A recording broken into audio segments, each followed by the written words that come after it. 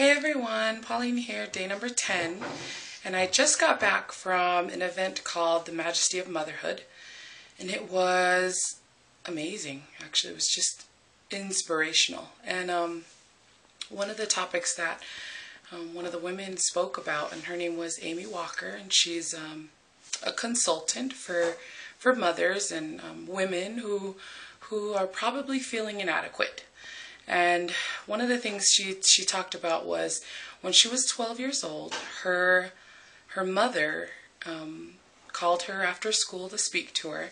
They went and had some ice cream, and she was so excited because she just barely started junior high, and and um, she wasn't doing very well. She wasn't fitting in very well, and she was already getting made fun of. So she thought, my mom's going to talk to me about this and this, and we're just going to get along, and I'm, she's going to get me through school. You know, she's going to get me through junior high.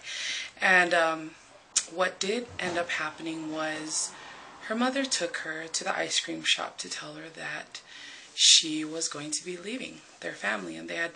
Um, she had three other siblings and a father, and, and basically all the mom said was, I'm not a good mom. I, I don't know, I can't do this anymore. And your father, he's a good father and he'll take care of you. And, you know, I just, I wanted to let you know that I, I can't be here for you anymore. And I just started to bawl. I just started to cry. And, and you know, a few years back in 2006, um, my mother almost did the exact same thing. She, um, she left just one morning, she um, told us she was going to Tonga. And Tonga is very, I mean, she hadn't been there since she moved here from the, from there. So it had, it had already been at least for 30, 40 years. And um, she just up and decided that she was going to leave.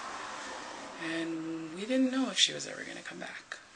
You know, I, she didn't tell us anything. She just really just told us that morning that she's leaving and we said, okay. And um, a lot of us resented her for that. There's, there's eight in my family, and I'm the oldest. And um, it was really, really hard because I was getting ready to enter college, and I felt like my family needed it at that time. And so I wanted to do this video on feeling enough. You know, and, and I'm sure that there are many of you especially women, but I'm sure that there are men out there, a lot of men, or a lot of people in general that are just feeling inadequate. Whatever the circumstances may be in your life, whatever past you've had, you know, forgive and heal. You know, you, you've got to be able to to look forward and and go forth you know, rather than dealing with the past because it's it's only to leave you behind. You know, it's it's only to keep you in that state where you know you just feel so trapped still. And um, that's what I wanted to tell you guys. I wanted to tell you guys that you are worth it, and you can do it, and you deserve good things, and you deserve to be happy. And that's what I learned today. You know, I was really, really happy for that inspiring event that I was able to